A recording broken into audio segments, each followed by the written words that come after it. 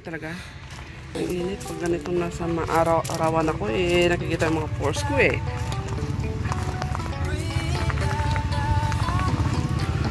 Nasa na ba yung kasama ko? Kasi pupunta kami sa may putot. ah, kung alam niyo yung, yung lugar na saan kami pumapasyal.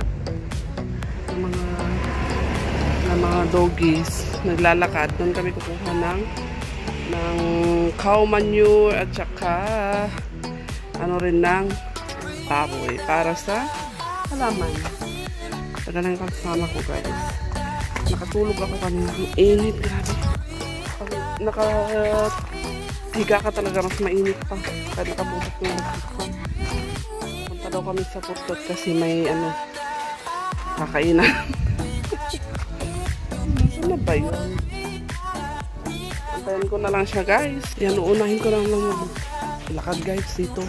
Hanggang dito kasi baka pag na lumabas yung mga aso. Kita na naman nila ako. Ang hirap salisihan yung mga aso na yan. Ayan, at mainit naman talaga. Ayan, din kami pupunta at yung kasama ko, tignan nyo, balot na balot. Ayan, nakikita nyo ba? balot na balot. Parang, uh, parang ayaw umitim. Ah. Dala-dala niya yung mga sako na lalagyan ng mga ebak ng baroy. Ano? Nandito na kami eh. At nakatambay lang dito sa kapitbahay ng pupuntahan namin. Ayan, oo, oh, di ba? Papuntang farm pero yung mga nandito, oh, may store doon. O, open na store. Ayan, may mga halaman din. So, yung mga pananim nila, walang sinayang.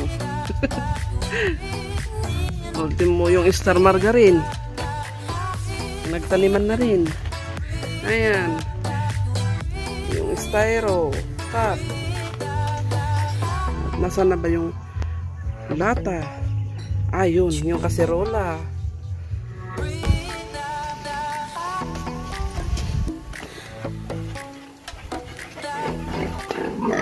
mga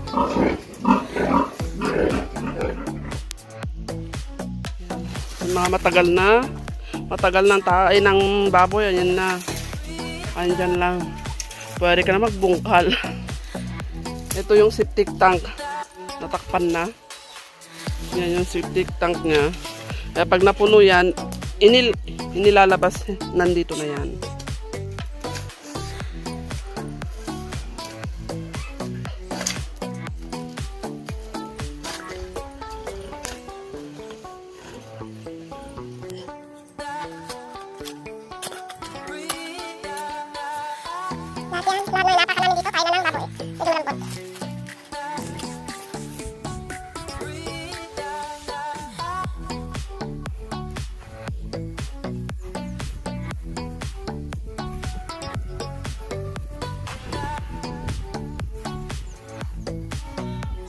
Ayan, so pagkatapos kumain, makikain pa lang.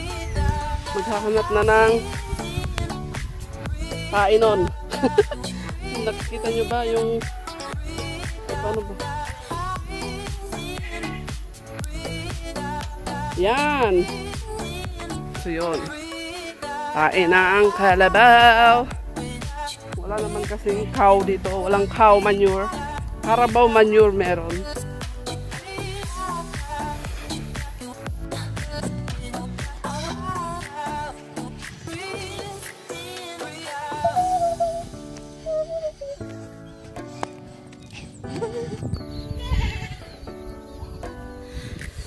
Dami nilang kambing ah. Nagtakal din eh.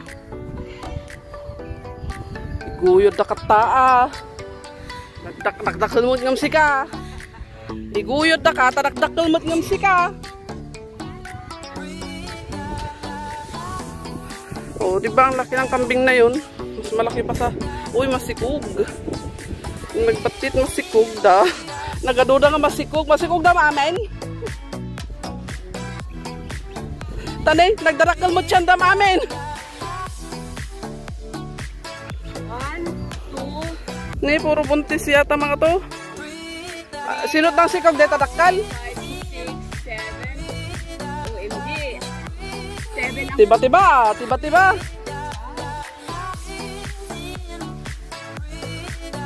Tiba-tiba ka. Tiba.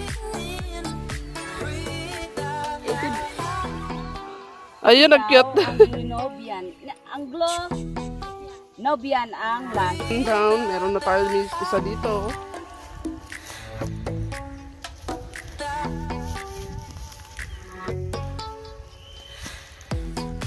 Yep, I miss it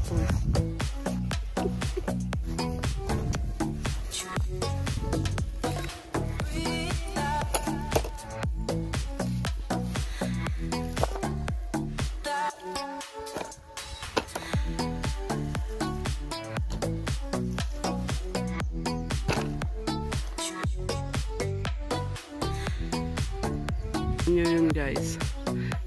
Pini pinipicturan daw niya yung maraming carabao or cow manure doon. Vlogger na rin kasi yan guys. yan ang kanyang content. Pangunguha ng cow manure.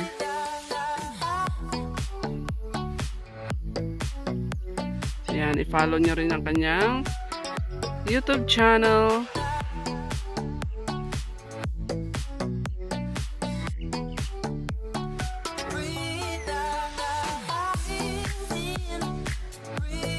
Yan, kaya ako, nandito na ako nakaupo with my water. Ayan yung water ko dito.